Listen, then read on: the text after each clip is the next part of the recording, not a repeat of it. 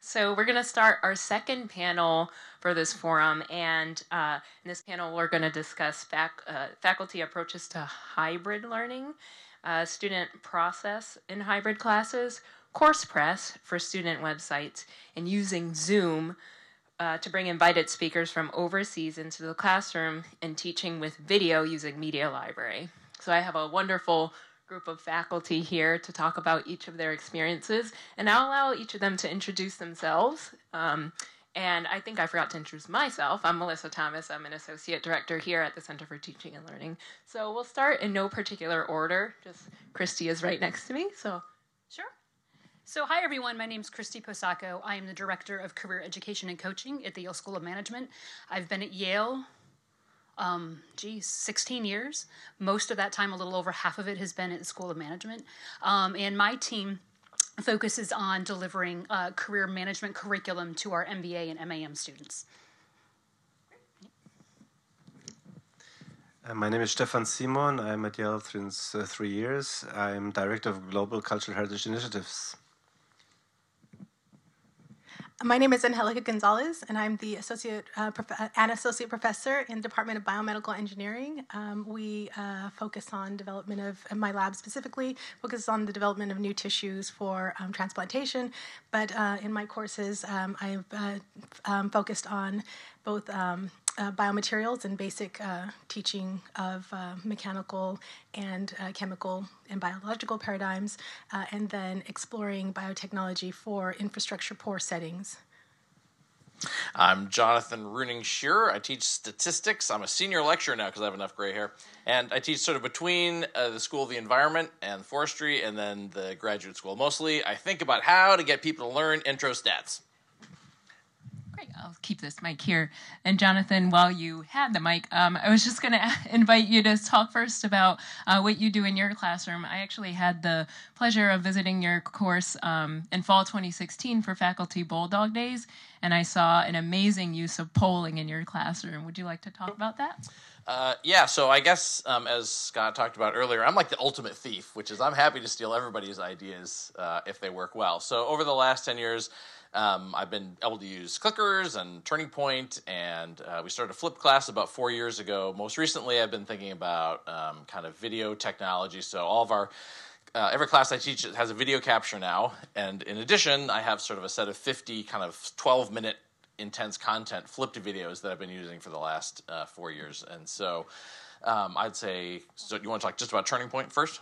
Technology in general. I think I'm also the only guy here who actually teaches with a lightsaber. That's sort of one of the more newer technologies that I've started using recently.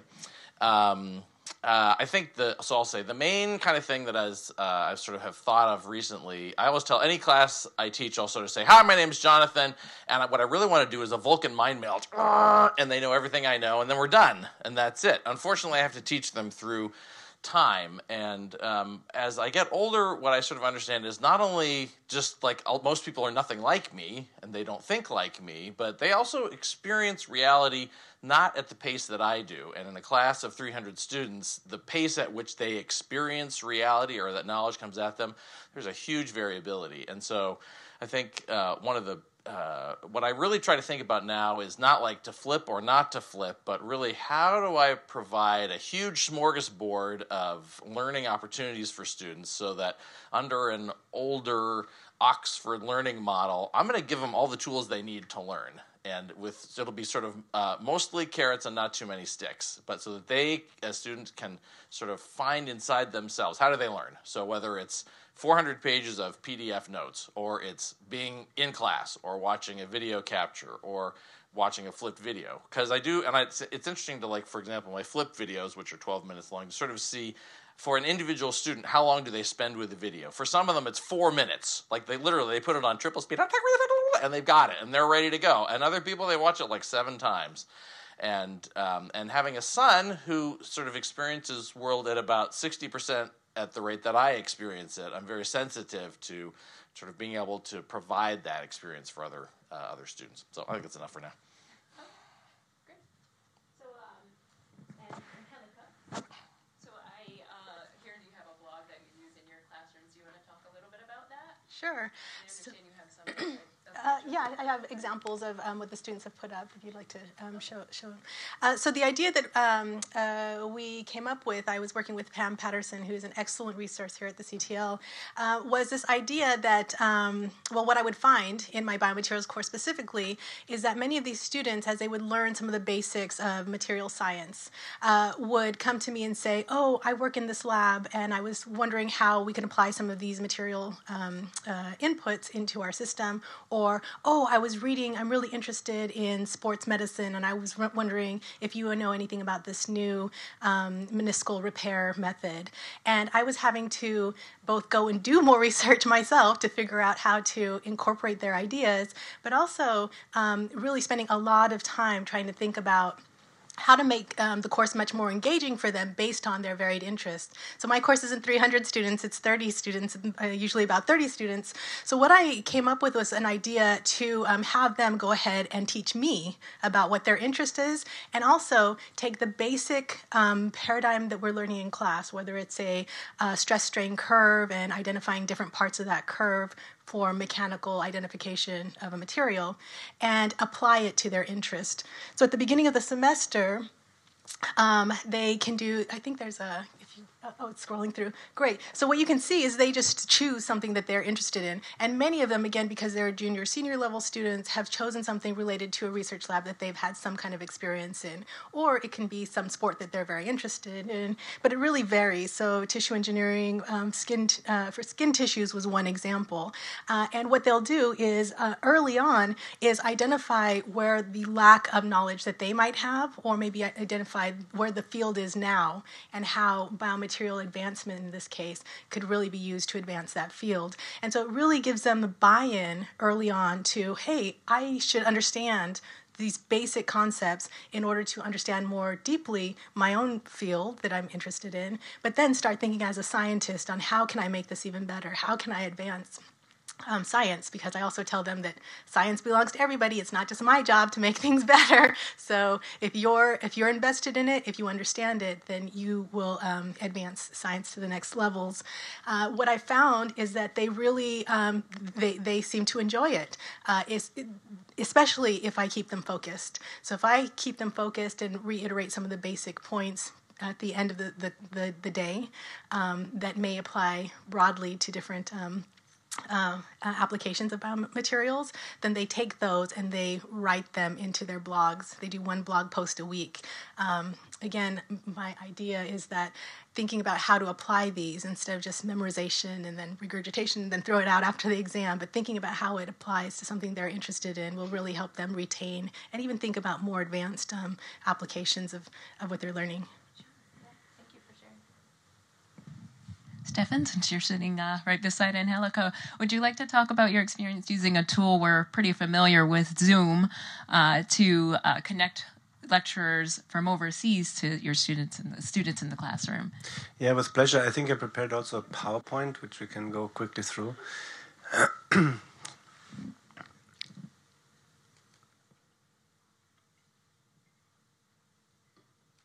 so We've been hosted by the CTL in the summer with our class in the IARU, the, the, the, the, Yale Global Summer Program, which is called the Sustainable Preservation of Cultural Heritage.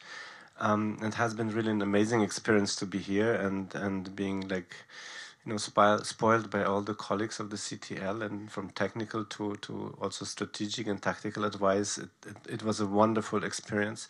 Um, we had students coming from all over the world, from the IARU Association, the International Association of Research Universities, Copenhagen, Beijing, um, Australia, ANU, um, Zurich, and so on.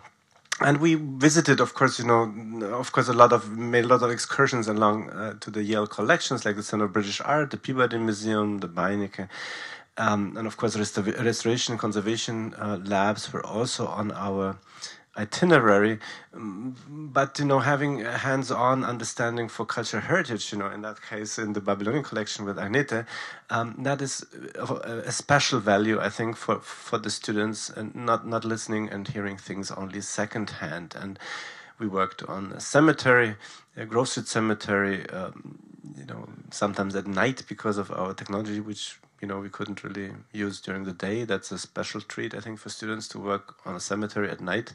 Um, and and with all that, of course, you know, brings us back actually to this very room because because that's where where the class took place, and um, we had, of course, human beings coming to class uh, is, is is is the best. You know, we had uh, guests, uh, Holocaust survivors, because we have a little project on Jewish cemetery in Germany, documenting inscriptions. So we had actually um, Holocaust survivors from that very village living in Long Island just coming and and and talking to our students. And I think, of course, this experience, um, you know, as a 20, 22 year old talking to somebody in the 90s who uh, just made it out of Germany on a Kindertransport in the 1930s is is a very valuable experience. And unfortunately, you know, you can't we can't do that for much longer because those this generation is just not won't be around, uh, you know, much much longer. Hopefully, you know, longer. But but the the other point which I think uh, you know, turns for, for, for me and my experience here at Yale, this uh, the CTL um, into what uh, you, you, might really call the, the, the, teaching of the 21st century is really Zoom. Because, uh, as Dean Marvin Chun has said, that, that is by no way comparable to all the other communication, uh, you know, programs which you have, Skype, um, you know, you all know how that goes. You know, talking to your kids over Skype in another continent, and then you're usually asked how was the audio connection, and you have to say it's good. Zoom is is really good because in Zoom, um, not only that everything is like real time. Just an example: the audio connection is is you have a classroom, you have twenty people in the room. The the microphone is so excellent; it picks up everything we had people talking to us, um, you know, from Lima, from Peru about earthquakes. Um, we had um, Interpol actually they have special uh, you know requirements on their connectivity. They can't just talk on Skype, for example. Um, so they could use Zoom as well. Um, you know, presenting us their insight from Lyon in France. Um, I think most importantly, one of the best lectures we had was with Father Najib Mikael. Father Najib Mikael is, is the face of the destruction in Mosul, Iraq. He, he is a Dominican monk who rescued books and libraries um, is a very famous person in the field. And to give you one example, how that conversation with Father Najib worked, you know, he was walking in his, you know, uh, Dominican um, dress, or how you call that, or not. And and one of the students asked, you know, yeah, but you know, what are the conditions actually in your storage room now in Erbil, where he is? He he joined us from Erbil, Kurdistan. And so he went with his cell phone actually to, to the wall and showed us a thermometer which showed 37 degrees Celsius. And and the students said, "Wow, you know, when we talk about preventive conservation, 20 degrees, you know, in the museum, and that's that's the reality." And it was it was really as if Father Najib was with us, um, and and so I think this technology is definitely important in, in, in, a, in a situation where you know my students come and and they they, they want to study preservation of cultural heritage and uh, they come here with this understanding that cultural heritage is about Van Gogh paintings and um, very quickly, you know, with these uh, people to talk to, seismic engineers from from Peru, uh, legal experts from Santa Monica, the police, uh, Interpol, and IGO in Lyon, or or actually Father Nabil. Um, uh, Najib Michael. So they realize that cultural heritage is a much broader um, and a much more interdisciplinary and a much more heterogeneous uh, field, which goes very very broadly across all disciplines. And i think that's that's the, the, the nice thing that you can bring you know speakers that you can bring uh, experts from all around the world and not just uh, you know divided by this actually there has been the very screen here right or the other one um, but really being with you in in the classroom. I think that's that's really um, i mean just sharing some of the impressions with the students, and I'm sharing some of the evaluation with the students gave us back.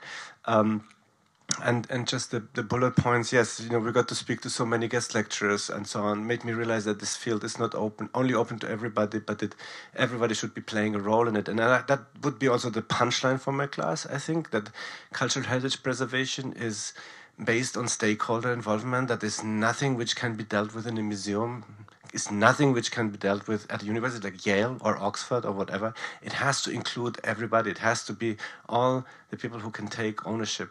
That means, you know, the spirit of the place. That means the people in Iraq, to the same extent the people in, in, in Europe and us. So that's why we had Holocaust survivors from a little village in Bavaria coming to class. That is why we have uh, people who rescue cultural heritage uh, at the risk of their own life in Iraq during the war.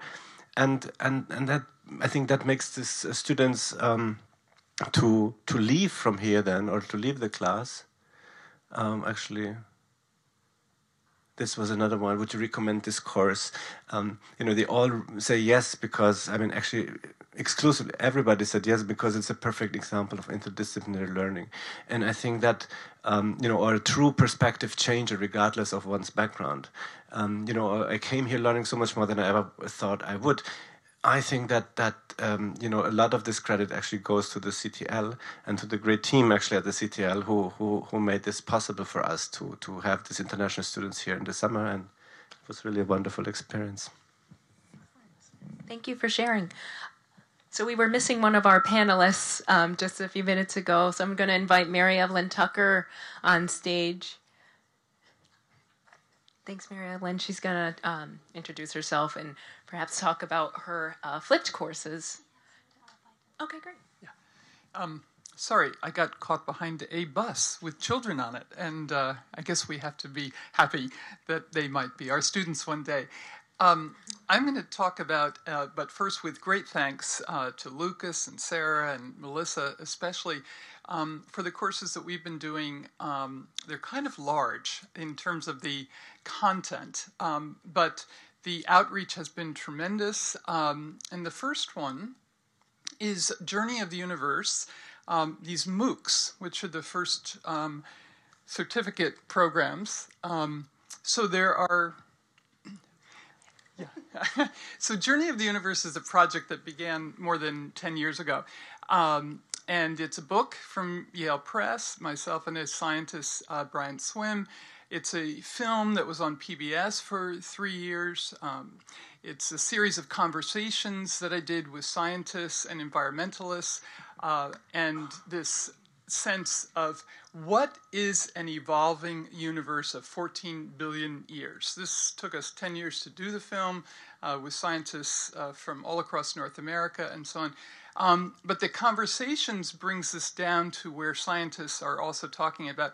So the emergence of galaxies or planets or stars or geological systems on Earth, how does it enhance the study of these parts of the evolutionary story by having a large narration? Now, others are doing this. Epic of Evolution is what Ed Wilson calls it. Uh, Eric Chaisson calls it um, the the march through time kind of thing, the arrow of time. He speaks about it. These are two scientists uh, in the Boston area, obviously. Um, but what we've been able to do um, through CTL is offer these um, as massive open online courses. So there's about 18,000, I think, um, watching them right now. But today we have a special, uh, wonderful announcement that they went into Chinese. Um, and uh, so all these courses are in Chinese. The film is in Chinese. We've just come back from 10 days in China, actually, where we showed it several times. The Chinese very much get this idea. Um, my area of study happens to be East Asia, China, and Japan. And the ideas of these traditions, especially Confucianism, are very coherent uh, with this film. So we've showed it for the last several years in China, and people have enjoyed it very much, actually. It almost went on CCTV several times, but this is why we're particularly happy about the Chinese versions. Um, we have, I'm going to talk just briefly, we have people doing uh, community mentoring to help monitor the feedback, um, the questions, and so on that come up. But I'll say something more specifically about this in the next set of courses that we have. These have been very much inspired by Thomas Berry, um, who was a cultural historian. Uh, he'd studied both Asia and the West in great depth, had a library of 10,000 books, um, was a, a Renaissance um, scholar. These are very rare these days, but he inspired Journey of the Universe. But he also inspired, because he was a historian of world religions, the cultures that we're teaching now on world religions and ecology. Um, my husband, John Grimm, teaches these with me. He's a specialist in indigenous traditions. As I say, my specialty is Asian religions. Um, but we spent many years in graduate school with Thomas Berry and scholars at Columbia studying these traditions. Um, Berry's notion was an ecological ethic is needed. I don't think we need to argue that, but he had very powerful writings on this. This is just one phrase. We have ethics for homicide and suicide, but not for biocide and geocide. And our concern was well, what is it in the world's religions, including indigenous traditions, that might respond to this uh, huge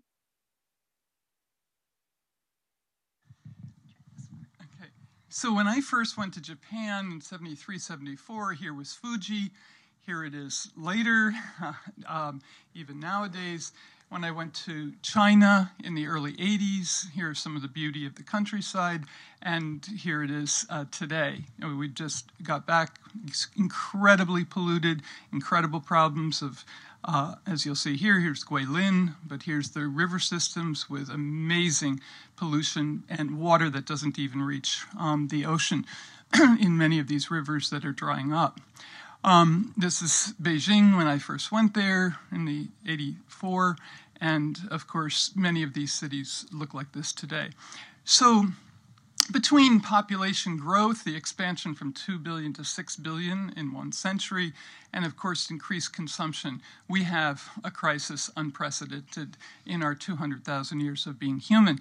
So our concern was we weren't scientists or policy people or lawyers, and we need science, we need policy, we need law, we need economics, we need technology, but we also need values and ethics. And the ethics are going to look different in China and Japan and India.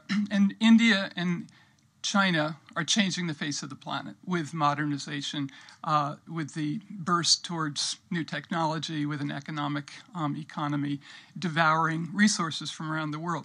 So we began a project at Harvard on world religions and ecology, three years of surveying world's religions, and these are some of the books that we're using in the courses now. So I'm concluding here, and then I'll say just a few words about how these courses are going. We have um, Introduction to Religion and Ecology, Western Religion and Ecology, South Asian Religions and Ecology, Hinduism and Buddhism, East Asian Religions and Ecology, Confucianism, Taoism, and Buddhism, and Native American Religions and Ecology. Now, these were encouraged, I have to say, by our last dean at the School of Forestry and Environmental Studies, where we have appointments as well as divinity and religious studies. But Peter Crane was particularly eager to work with CTL um, on these courses. And um, the, the idea being, and Gus Speth, the dean before that, was the one who brought us to Yale 12 years ago for a joint program in world religions and ecology. Now, what I want to say, and I really thank my fellow panelists here, is in 45 years of teaching, this has been, I think, the most exciting method of teaching.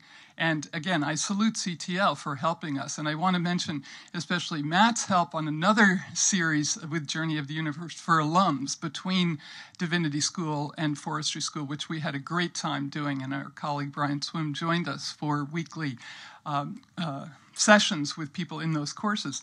But what's so terrific about this? The MOOCs are, of course, hard to have feedback with that many people, but some of Brian Swimme's students and our students are acting as mentors to do that. But I want to maybe conclude on this, this note that we have questions every week for these religion and ecology classes. So they are online posting answers to these questions, but then they're posting responses to the other students. So by the time they come into our class, which is flipped or hybrid, um, they have already had a very robust conversation and they know, the, as Lucas said in his post and, and so on. So a conversation and a community has already developed. And when we come to class, it is robust, it's exciting. These are classes of 25 to 27 students, but um, it is absolutely electrifying, I think, um, as, as with the student involvement, because they see our lectures, they see other people who are coming from different parts of the world that we interview, and, and so on and so forth. They see films that they couldn't do in a seminar. We wouldn't have had time, um, but we can really get into discussion which has great depth. So I thank you all at CTL for helping with that. So, Christy, uh, speaking of working with Matt from CTL, you've worked extensively with Matt on the Slingshot program uh, at SOM. Do you want to talk to us a little bit about that? Yeah, sure. I'd love to. Um, so, two years ago, we launched a hybrid or flipped classroom course, uh, career management course. And it's been really interesting hearing everyone's unique challenges. Um, our unique challenge is that despite the importance of career outcomes, our career management course is not required. Um, so when you think about the content that it encompasses resumes, networking, interviewing, it's not necessarily the most compelling content, um, and we need to get students excited about it. So prior to Slingshot, we had um, we delivered the content via live lecture on Fridays. So I'm sure you can imagine the absolute joy with which students would come to a two-hour cover letter lecture on a Friday afternoon. So, needless to say, we had attendance problems. Um, it, it, was difficult to get students there on a Friday. The other piece um, uh, of the puzzle was students engage in the job search at different points during the year. So, students who are engaged in a banking or consulting job search would be doing so um, in the fall. Students interested in buy side finance or education or nonprofits would be doing so in the spring. So, we were forced to sort of teach to the front end of that process. Uh, students weren't able to make up the material in any easy way. So we we kind of got to the point uh, three years ago, just about now, like there has to be a better way to do this, and we engaged CTL and we uh, thought through a hybrid or flipped classroom approach. Um, we currently offer it on Canvas, and essentially we teach the same stuff, um, but we do it in a way um, that really engages students. Uh, the videos uh, are really the star of the show. They're short videos, all of them are less than 10 minutes. Um, and though they do feature a talking head approach, um, they they also feature students, and they feature students in job search scenarios. So we know based on our experience, students tend to make the same mistakes over and over again in interviews, talking with employers, networking. So we were able to cast about 50 students in these vignettes um, where they show themselves making these mistakes. Um, and the beauty of that is their colleagues get to see um, this this modeling from their peers, so it's much more credible than if you know mom and dad, i.e., our office, was telling them what to do and not to do. But we also do a lot of success modeling as well. So we show students what they should be doing well and what is what is um, uh, going to work for them uh, during their their job search. So the flipped classroom piece to that um, would be the live learning lab. So each module, and the, the modules um, are things like resume, cover letter, all the usual suspects.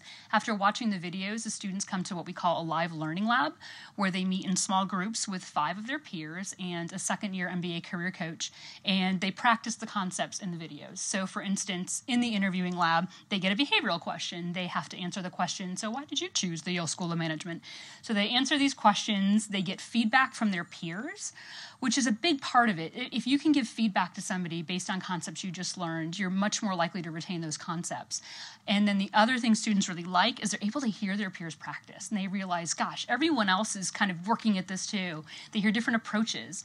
Um, so they like the fact that they can engage in this way and then they walk out of the room a better candidate. They feel more prepared. Um, so, I mean, just briefly, I can sum up and say this has been wildly successful. Um, as the LSOM grows, as you all know, we're adding degree programs, we're growing within the MBA population, we're constantly thinking of ways to scale Slingshot and meet the unique needs of different populations. Um, I have some data here uh, that's kind of fun.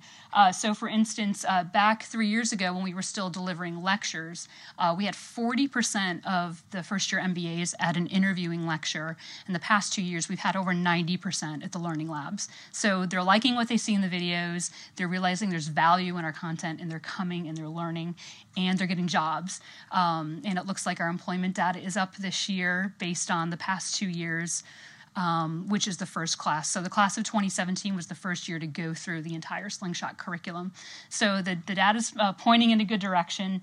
Um, and uh, one other thing I'll mention is we brought this to a uh, global uh, conference a few years ago, and other business schools liked it so much they asked us if we could license some of the content. So we spent some time um, rewriting the content, sort of packaging it for license, and we have licensed it to several schools. So it's kind of fun being a thought leader in the career management space for graduate business programs. So a big thanks to uh, to Matt and Sarah and Tom and, and all those who helped us think through this and continue to, to make it work. Great, thank you for sharing. And before I open it up to questions, I know Jonathan had a little bit more he wanted to share. Is that right? I'm good. Are you sure? Okay. All right, then I'll open it up to uh, questions, Q and A. Uh, so just one thing to say, thank you all for the kind words, but I just want to include one other team we have because they're here behind the cameras, and that's the team at the Yale Broadcast Studio. Because just to show their versatility, they are, I know they work very closely with you all on developing the flipped courses, and it's not just how do we record this, but really what are your goals and what is it that we're trying to get to? And I know they're hidden behind there, so I just wanted to mention them that they're also here recording this. Uh, Jonathan, you mentioned that you have you know different types of students, some that watch these videos in four times the speed, some that watch it seven times. If you think back to a time when that wasn't possible, and this may be a tough question to answer, do you see that? I don't want to use the term the, the bottom half of your class, but maybe they do perform better because, like, do you have data that supports that to say, you know, they're clearly being helped by this? Here you go. Was it on now? Hey, how about that? Okay. Uh, yes, I would say I don't. I, I don't have the exact numbers in front of you, but there's no question that being able to provide a wide range of learning opportunities. Uh, it deals with a lot of small problems that would have come up before. So, teaching at the forestry school, they go to a lot of conferences. They miss at least 15 to 20% of every class. Not a problem anymore. They're like, I'm going to be out of town. Doesn't matter. The video's online. You can watch either the video capture or the, you know, their lecture. They're sick not a problem. I had a student today who was like, "Oh my gosh, this thing came up. I'm three weeks behind." Before I might have said like, "Sorry, you're dead," but now, like, as long as you're self motivated, not a problem. Um, uh, another kind of unique feature about being up at the forestry school is I can't remember the it's like 30 to 40 percent students from foreign countries, and I know I talk fast and I try to enunciate, but still, for some of them, like they're having to do second language translation being able to like slow things down has made it much easier for them. So definitely, you know, sort of looking at, even if I don't, I mean, um, I, I, would say the the grades are uh, have always been decent, and they're maybe a little bit higher, but certainly I don't. There are fewer tears in my office now. Uh, for people who just sort of felt like I'm just not getting it, I'm lost, and I can say, look, pure, you're going to be fine. Here are all these resources. So yeah, it's it's actually. I mean, to me, when I sort of think about why do I use technology, I think technology for technology's sake is like a waste. Uh, but uh, I think about like all the problems that I've been able to solve with things like people out of town, people not being able to the same going the same speed. One of the I was thinking another thing that's been great is kind of switching how we do grading. 300 students, 12 TAs, they don't all grade the same. That's 4,000 assignments. Just trying to get the assignments to the TA and back, huge mess. Canvas, now everyone electronically, it comes in, it gets graded electronically, no problem. So that's the next big thing I'm thinking about is like, how can I, I mean, okay, so I hate assessment. It's boring. I wish they would just get excited about the material, but I have to assess them, and they need a little, a few sticks. So my, the next big thing I'm thinking about: how do I really um, try to even out how grading happens, and also provide more opportunities for self-assessment, and some get some hybrid of like the stuff that's a number, great, it'll get automatically graded. Don't waste the TA's times, and then they can spend more time really kind of helping students get details. Okay.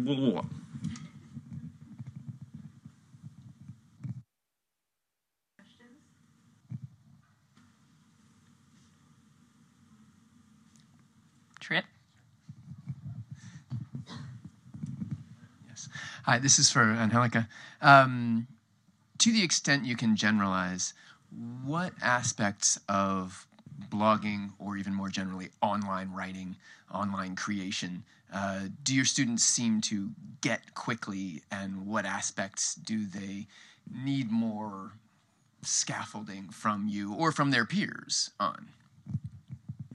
Um, so, uh, one of the things that um, I don't know if it's generational because I'm very old now, I feel um, that these students gravitate towards is being able to um, apply graphics to these uh, um, to express themselves graphically. So whether it's collection of images from um, other sites or uh, primary literature, research literature, uh, they do really well with that. Translating those um, graphical images or uh, kind of concepts that they see in an image into an explanation of what mechanical testing is and, and what the outcomes actually mean um, is where I start to see um, uh, a little bit of a, a, a, a downward slope. In, but what actually happens there is that then I can have com- contact with them and I can say, oh, you know what, we talked about this concept in class. Come, come chat with me and let's um, let's evaluate it a little bit more critically. Let's talk about what this actually means, how you can interpret this figure that you put in there to uh, more meaningful outcomes. Uh, so it really, um, in one sense, is a really great assessment tool because it allows me to go and say uh, what we see where they're they're not completely able to integrate the uh, information they're using in class to these graphical, fun, kind of uh, more applied uh, ideas. Um, but it also does some of the self assessment because I think they, they get to see, oh, yeah, I couldn't completely explain how the equations we used in class apply to this figure. So they come to me often and say, I, I really wanted to understand more how, how, how to uh, translate the math into the meaning behind this graphical data. I hope that answers your question.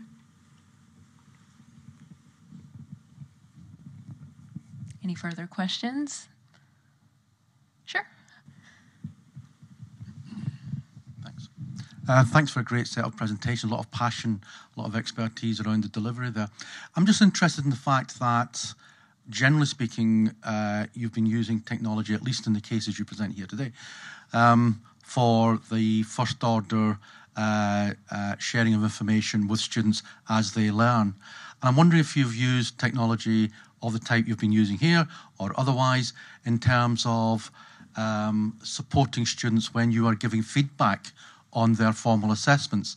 A lot of research suggesting that that is a, a critical uh, turning point for students who maybe are struggling. Not so much the providing of information or them even discovering the information, but the ways in which they learn from feedback. So I'm wondering any examples connected to your current courses around how you've used technology to help students, uh, you know, really capture that dividend from the feedback you or your colleagues might give them.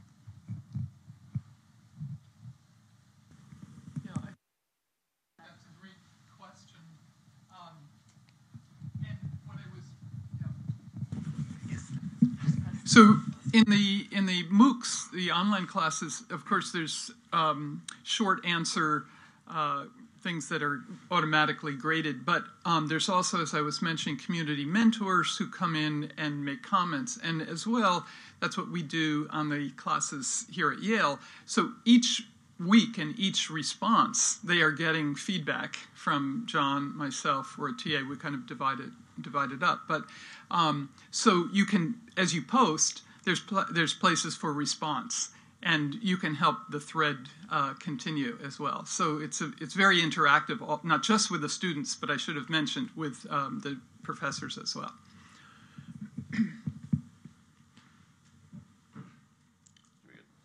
Uh, yeah, I would say actually um, the biggest change about flipping. So I have it's kind of interesting. I've got a pool of about 150 students who could take a flipped class, and only 30 of them pretty consistently decide every year that that's the version that they like. Those 30 love it, and um, the what's really changed for them is when I have them for an hour, we meet in a computer lab. And um, statistics is the field it is now because of computers. You know, 100 years ago, even 30 years ago, was theoretical. Now you can actually do it, and so um, I answer questions for 15 minutes based on the online feedback that you know what you don't get. But then we jump right on the computers, and so uh, so I have myself and a TA, and so I mean we can help them get immediate sort of a sense of like they get to experience the data. We can help them not waste time on like how do I get to the right place in the computer program, but also we can do differentiated computer packages. So we have three different sort of packages depending on what people like to use running like in the same classroom and then the students themselves can sort of give feedback. So it's sort of 30 minutes of like, let's do data analysis, and then I randomly choose different people to sort of present. So the other thing is that they actually. Uh, I was talking to someone earlier today. One of the hardest things I think in stats is not just doing the stats, but actually talking about the stats afterwards. Um, and so they get practice now, actually, sort of talking about statistics. I get to give them mostly non-threatening feedback. And you know and they you know sort of people can learn from each other. Anyway being able to like take that time away and just like have hands on the feedback generally is like uh, so uh, people are sometimes nervous about taking this flipped class because it sounds like more work because you have to watch the videos and you still have to come to class and you still have to do all the homework. But the reviews have said, well, the homework went a lot faster because I didn't waste a lot of time spinning my wheels because we had done similar things in the lab already, and so it was a much more efficient process, I think, for them. I probably don't need one. I can be pretty loud. Um, so I'll try it anyway. It's, it's a good. Okay, fantastic. So uh, we actually give feedback in two ways. We do leverage the quiz functionality in Canvas, and uh, we even go a little bit deeper. So whatever student and answer chooses, they get reinforcing content. So if they get the answer wrong, they learn why. We give them a little hint as to what the right answer is, and we found that this is really useful. And we do ask that the student pass the quiz with 100%. They can have repeated attempts before they attend the um, the live learning lab. So we send out um, reminders if you haven't taken the quiz please do so but then the real feedback comes in that live setting where they get individualized feedback our students really really want the sort of one-on-one personalized feedback that's what they they really come for I just wanted to mention as well this this uh, system allows to pick up this point feedback of students to one another, um, which I think uh, helps enormously. And they're they're correcting each other if a statement is not well done. And I must also just say their writing is astoundingly good because it's visible, you see, to the rest of the class. And it's sort of this pause they think and then they write instead of just raising their hand in class. And as well, the shy person, male or female, in the back of the class who might not comment is commenting and often brilliantly. So it's very exciting to see that um, interaction.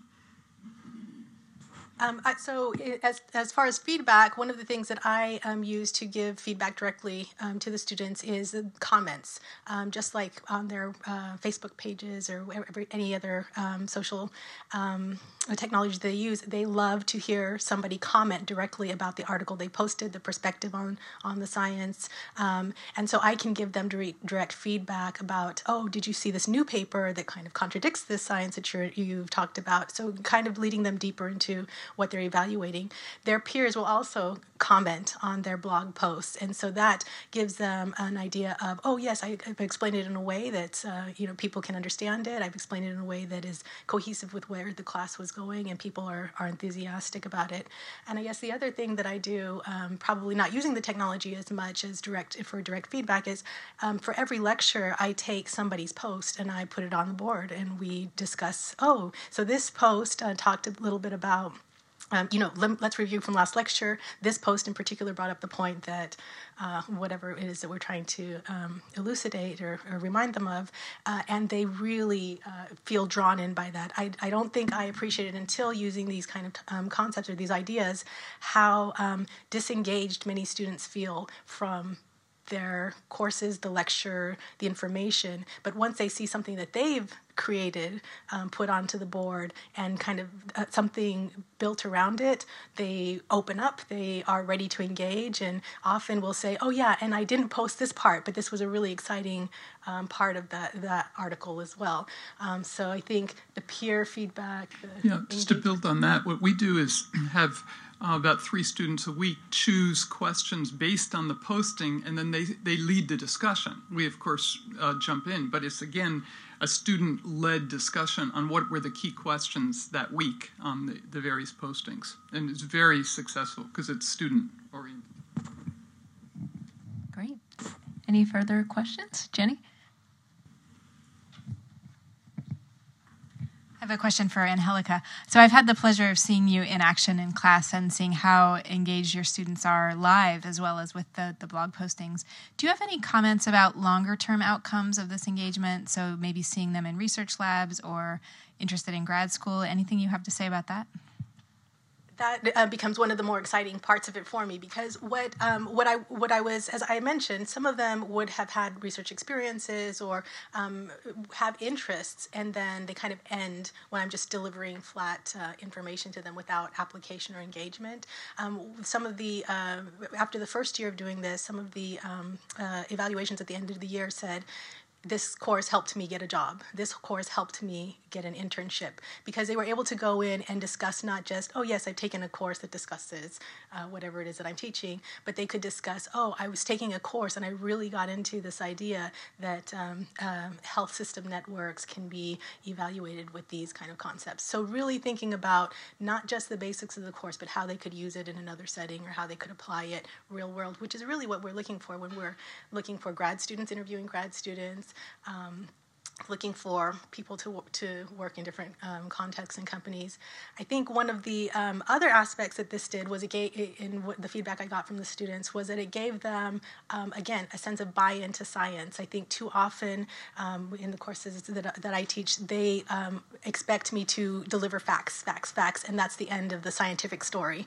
Um, and so what they end up seeing by reading some of this primary literature and being able to formulate some questions around this is we don't know everything, and there's a lot lot more to be done, and they now have some of the, the, the information that can help them dig into these questions a little bit better, maybe build some concepts around it. And so, graduate school, uh, so I, have seen more from my class students coming out and saying, "Hey, are, is, are there people who actually study this at Yale? Are there student uh, graduate programs that you're familiar with? How do I get into grad school?" So those conversations happen more and more when they see themselves um, as scientists thinking about these questions. Thank you for sharing. I want to thank everyone for their questions and also thank the panel for uh, sharing their experiences with uh, technology in the classroom. And next we'll have David Hirsch. But we'll take